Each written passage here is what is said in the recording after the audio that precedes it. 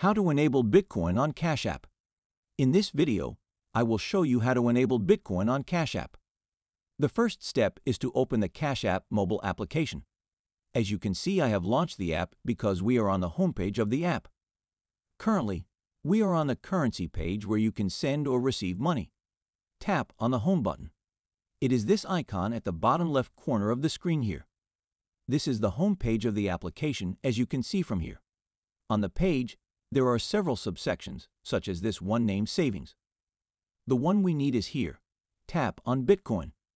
This page will show up where you will be given more details about Bitcoin and Cash App. You can slide through these images to read the information that is being displayed here. Read through it to get a better understanding of the process. When you are ready, tap on here, Get Started. You will land on this other page where you are being informed that you can buy Bitcoin for as little as $1. Scroll down to see the other options that appear at the bottom of the page. As you can see here, there are more you can buy Bitcoin on Cash App, which makes the process easy since you are being given more alternatives. Also, the latest price of Bitcoin appears here as you can see. Scroll up once again. If you are ready to buy the Bitcoin, tap on this button here named Buy Bitcoin. This section pops up from the bottom as you can see. You can buy Bitcoin for as low as a dollar, the choice is yours.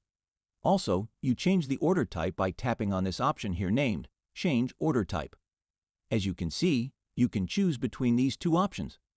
OK, after that, tap on the amount you want to spend to buy the Bitcoin. I will choose $1.